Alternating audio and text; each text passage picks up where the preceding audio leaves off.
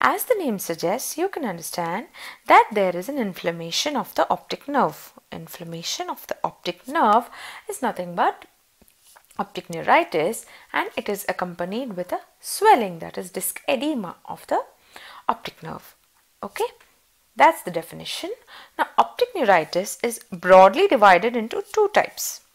The first one is optic neuritis proper or papillitis. That is seen in about 40% of the cases. But 60% that is most of the cases are retrobulbar neuritis. That is the part of the optic nerve present behind the eyeball gets inflamed hence the word retrobulbar okay?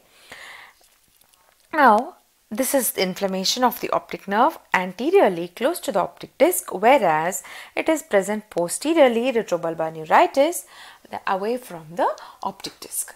So coming to optic neuritis, the most common cause of optic neuritis is multiple sclerosis. This can be asked as a question. So kindly remember in a young lady when you're looking at her fundus and you find that there is optic neuritis, immediately you have to suspect multiple sclerosis. So, the inverse of this statement is that the most common ocular manifestation of multiple sclerosis is optic neuritis. Okay, do you understand? Optic neuritis occurs in multiple sclerosis and the most common ocular manifestation of multiple sclerosis is optic neuritis. Okay, so the immediate investigation that you will order to uh, rule out multiple sclerosis is an MRI okay? So what are the features with which the patient presents to you? The most important feature is a sudden painful loss of vision. There's a sudden painful loss of vision. Okay? And the pain intensifies with ocular movement particularly when the patient tries to look up or inwards that is towards the medial side. So this type of movement increases the pain uh, in optic neuritis Okay, so the superior rectus and medial rectus are the muscles which help us in our upward gaze and the inward gaze by contracting and because these muscles are located close to the optic nerve, close to the optic nerve, when they contract, the pain intensifies in optic neuritis. Okay, is this clear? Now, another striking feature is color desaturation. Now, what do I mean by this you can understand from this image. All of us can look at these strawberries like this. See, bright red and bright green strawberries. However, a patient with optic neuritis looks at these like this. Strawberries appear as if they have faded. This is called color desaturation. That is a striking feature of optic neuritis. Okay. However, the hallmark of this disease is a disc edema. Okay. Well, so when you are looking at the fundus of this patient, it appears something like this. See, normally the optic disc appears very well defined, you know, something like this. But here, see, you can hardly make out the margins. It is swollen to a very large extent and this is the hallmark of optic neuritis, okay. And another important exam related point as well as a classic feature of this disease is the RAPD, okay the famous RAPD that is relative afferent pupillary defect also known as Marcus Gunn pupil. Okay. So, we will understand what Marcus Gunn pupil is in a little while. However, when we try to look at retrobulbar neuritis, all that we have spoken until now is optic neuritis. So, in retrobulbar neuritis, none of these signs are present. So it says, it is famously said that the patient sees nothing and the doctor sees nothing. Now what do I mean by this? Now we can understand that because of this pathology, obviously the patient's vision is deteriorated. So that explains patient sees nothing. Now what is this doctor sees nothing? He does not have optic neuritis. Then what's the problem? It is because the inflammation of the optic nerve is present behind the eyeball and when I examine the fundus I cannot find any positive signs related to optic neuritis. It appears to be normal. That is why it is said the doctor also sees nothing.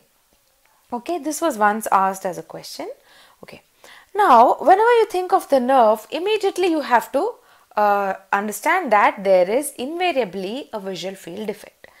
And the visual field defect characteristic for optic neuritis is your central scotoma. See there is a central dark patch where the patient cannot see anything. This is the characteristic scotoma in optic neuritis. However, there's a similar sounding scotoma called the centrocecal scotoma. If you can see in this visual field, normally the blind spot is here. It, this scotoma is involving the blind spot as well and hence it is called as centrocecal scotoma. And where do you see this centrocecal scotoma? It is seen in condition called toxic amblyopia. Okay, amblyopia means loss of vision Okay, we know that amblyopia means loss of vision and by toxic I mean the loss of vision due to consumption of certain toxic substances such as tobacco and alcohol. Okay, so it is also known as tobacco amblyopia or toxic amblyopia and you can see in this picture the optic disc is strikingly pale. Okay, this is a characteristic feature of toxic amblyopia. However, the differentiating feature between optic neuritis and toxic amblyopia that this is a slow painless loss of vision as opposed to the sudden painless loss of vision in optic neuritis. Okay. Do you understand? In toxic amblyopia, because of a long standing consumption of tobacco or alcohol, there occurs a slow painless loss of vision along with pale atrophic discs okay now the management you can understand you have to stop the drugs or the toxic substances that are causing this problem along with an injection of hydroxycobalamin so injection hydroxycobalamin is the treatment for toxic amblyopia then what is the treatment for optic neuritis and retrobulbar neuritis? The single drug you use is intravenous methylprednisolone. Please remember this. The treatment of optic neuritis or retrobulbar neuritis is the same. It's intravenous methylprednisolone.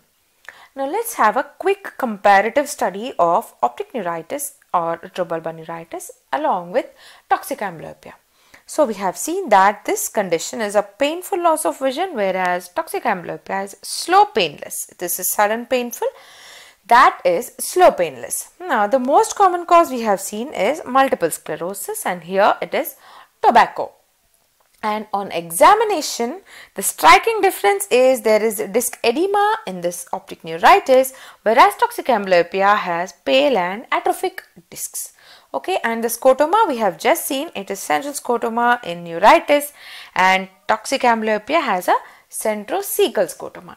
And the management is intravenous methylprednisolone in neuritis and injection hydroxycobalamin along with the withdrawal of the toxic substances in toxic amblyopia.